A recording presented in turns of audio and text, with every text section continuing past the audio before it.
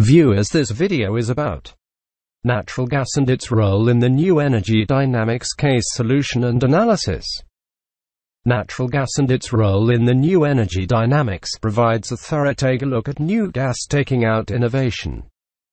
Hydraulic fracturing or fracking and straight drilling in addition to the financial and environment results of the current significant boost in non-traditional gas production and intake. It goes over the effect of the low gas rates in the United States. In addition to the profitable arbitrage chances in transferring liquefied gas LNG to Europe and Asia where costs might be as although five times higher than those in the United States.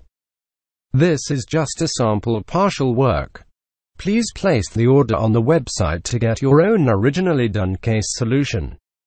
Thanks for watching this video.